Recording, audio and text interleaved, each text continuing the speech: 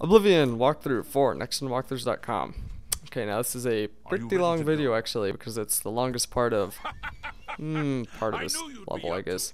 Longest part of this level, I think. But anyway, um, so after this door to get Martin is in this chapel, front of the and castle it gatehouse. was, if you talk to him, I would recommend telling him to wait here. close and keep If you want, you can have him follow you, and he'll be one extra guy that can't die, because he'll just get knocked unconscious and come back up and help. But he's in robes, and he's got a little dagger, and he's pretty much pointless, useless. So I guess it could help a little bit, but I just found it easier for everyone, uh, for me, and just for him because I don't have a chance of somehow losing him.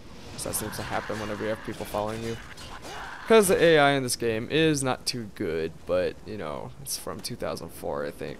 I don't know, it's relatively old game, so doesn't matter. Now, This guy tells you that the gate is locked, and you have to go into the castle and talk to some guy to get his key.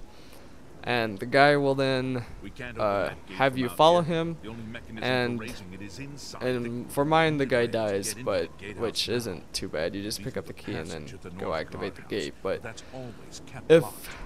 He uh, doesn't die for you, well, good for you. It's just some, someone else help. Now, as you can see here, uh, well, as you might have seen before, all this talking, there's the guy that I let, like told to go back help the guard in the Oblivion Gate.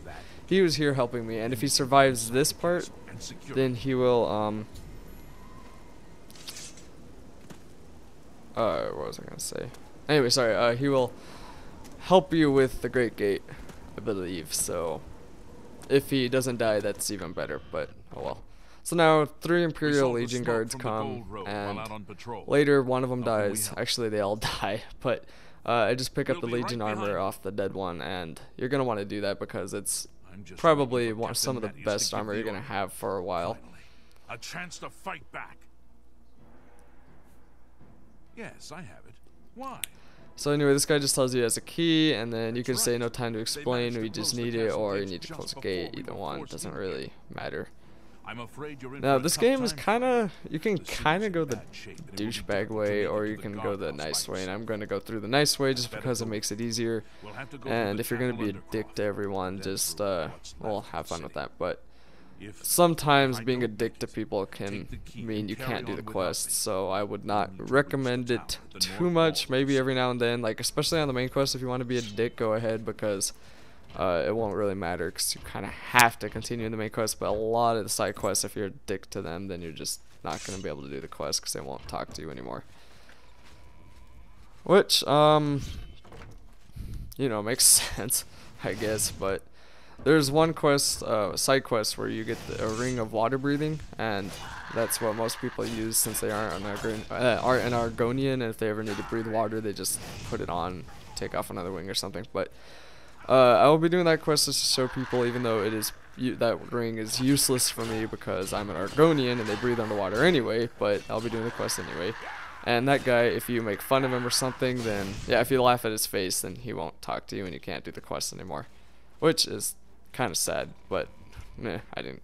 When I did that, I laughed at his face because I was an Argonian. It didn't really matter. But anyway, that's for when I get to that quest. Okay, so um, right here is where both of the guys die, and well, pretty soon, not right at this particular moment, but it's where both of these guys die, and the uh, two other Imperial. Uh, sorry if you heard scratch the mic. Anyway, uh, sorry, uh, two of the uh, la, la, la, two of the other Imperial soldiers did not come until the end for some reason, so they help a little bit at the end when I'm fighting off like ten scamps. They kill like two or three, I think, which does help a lot, but I don't know. It they would have been more useful here.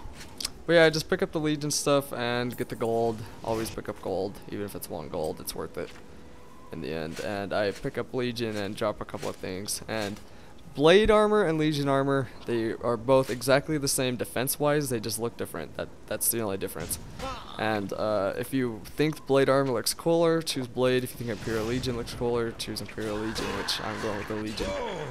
So, uh, just because I think it looks cooler. But yeah, pretty soon I start speeding up the video because it's just me running around killing a frickload of scamps, and it's just kind of crazy. So right here, there are a ton of scamps in this side quest, and it can get really annoying. But one tip, always go for the one with lower health. Don't try and even them out because in this game, kind of like with um, turn-based RPGs, I've always found that one less is always better than having to deal with all three of them. So one less scamp is always better. Now I start running from him here, and I'm I've only I'm only speeding this video up 150 percent, but um. I start running here from, away from the Scamp, thinking oh, I'll just take care of him later. Which, right here is where I find that the I just decide to kill him here, and then I find that the Legion people come, and they help a little bit, like of the six or eight scamps that are here, seven or eight scamps, but they help a little bit. That's uh, completely. That's obviously better than nothing, and uh, yeah, it's just what happens, I guess. But I think I leave. Yeah, I leave like three of them or something, and then I just go and try and finish the quest. But then they follow me, which kind of sucks because they they will follow you through the dungeon and everything. So here I am just trying to kill off anything with low health and I just decide to run for it now. So, video's back to normal, 100% speed, and the rest of this is pretty much just me going and opening up the gate, and the next video will have us assaulting the castle or trying to retake it, so see you then.